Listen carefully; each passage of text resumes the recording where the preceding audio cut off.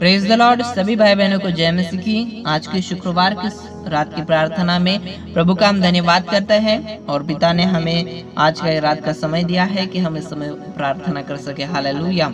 और हम सभी मिलकर प्रार्थना करेंगे, विश्वास से प्रार्थना करेंगे। आइए, अपने आप को परमेश्वर पिता के हाथों में सौंपे।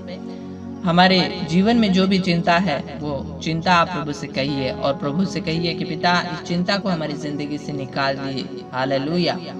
और प्रभु, आप सभी को उस चिंता से आज़ाद करेंगे और आपको आगे बढ़ने के लिए मदद करेंगे। प्रेज द लॉर्ड प्रभु का वचन कहता है, मत्ती अध्याय इकतीस, कि तुम चिंता करके यह नहीं कहना, अध्याय छह, वचन इकतीस में लिखा है, कि तुम चिंता करके यह मत कहना कि हम क्या खाएँगे या क्या पहनेंगे या क्या हम अपने जीवन में इन वस्तुओं से जो हमारी ज़िंदगी के लिए आवश्यक है, उनकी चिंता करके हम ये नहीं कहना चाहिए कि हम क्या खाएँगे या क्या पिएँगे या क्या पहनेंगे। हालेलुया। क्योंकि हमारा स्वर्गीय पिता जानता है कि हमें इन वस्तुओं की ज़रूरत है। हालेलुया। और वो हमारी ज़िंदगी में उन वस्तुओं को लाता है। हालेलुया।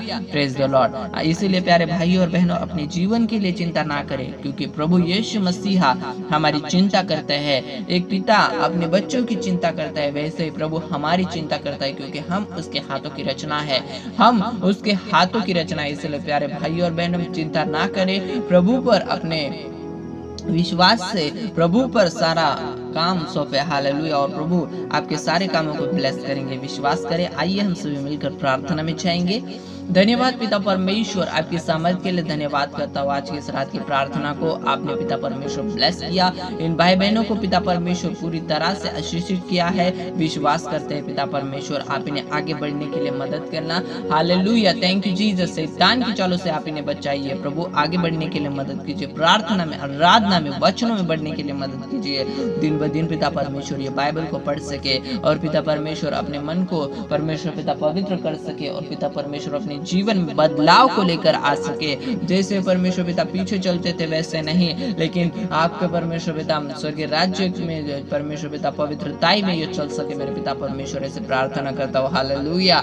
परमेश्वर पिता, दया करना प्रभु। हमारे जीवन में ऐसा बदलाव होना चाहिए, ऐसा चेंज होना चाहिए कि लोगों ने भी देख कर कहना चाहिए कि सच में इनके अंदर कुछ तो बदलाव हुआ है और वो कैसे हुआ ये जानने के लिए वो हमारे पास परमेश्वर पिता जब आएँगे तब पिता पर परमेश्वर, हम आपको, आपका नाम, पिता परमेश्वर, आपका सुसमाचार उनको बता सके, मेरे पिता परमेश्वर। और प्रभु, हमें मदद करना, हर भाई बहन को मदद करना, बदलने के लिए, पिता परमेश्वर। हमें अपने अंदर से बदलना है। हमारे जीवन में जो गलत बातें थी, जो गलत चीज़ें थी, उनसे हमें परमेश्वर बाहर निकल कर प्रभु, स्वर्गीय बातों की ओर हमें ध्यान लगाना है। जैसे हम परमेश्वर पिता हम संसार में थे, तब हम गलत बर्ताव करते थे, हम डांट फटकार लगाते थे बिना वजह के हम पिता परमेश्वर किसी पर नाराज़ होते थे और प्रभु हम झगड़े करते थे, लेकिन अब हम वैसा नहीं करते क्योंकि हम आपके पवित्र लोग बन चुके हैं और मसीह में हम नए बन चुके हैं। हालेलुया, हम मसीह में नई सृष्टि है। हालेलुया प्रेज लॉर्ड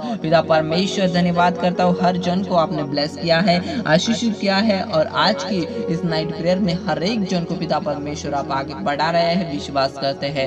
पिता परमेश्वर आपकी सामर्थ्य के लिए धन्यवाद करता हूँ। पिता परमेश्वर आपकी दया के लिए धन्यवाद करता हूँ। और प्रभु, आज की इस रात की प्रार्थना को हमने ब्लेस किया, आशीषित किया। हर जन को पिता परमेश्वर, आप आगे बढ़ा रहे हैं और हर एक जन को आपने चिंता से आज़ाद किया है। और प्रभु, उनके जीवन की, जीवन में जिन भी वस्तुओं की परमेश्वर पिता घटी है, कमी है, पिता, उनको उन चीज़ों से परमेश्वर पिता भर दीजिए और उन चीज़ों से पिता परमेश्वर, आप इनकी ज़िंदगी में, प्रभु, पूरी कीजिए। पिता परमेश्वर हालेलुया प्रभु, इनके जीवन में जो भी चिंता है, उन्हें परमेश्वर पिता, अपने काम की चिंता या अपने परिवार के भविष्य की चिंता है, वो सारी चिंताएँ पिता परमेश्वर आप लीजिए और पिता उन्हें चिंता से आज़ाद कीजिए और प्रभु आगे बढ़ने के लिए मदद कीजिए, प्रार्थना में, आराधना में बढ़ने के लिए मदद कीजिए। हालेलुया। प्रभु, मैं धन्यवाद करता हूँ अपने हर जन को ब्लेस किया है। यीशु मसीह के सामर्थ्य नाम से माँगता हूँ। आमेन।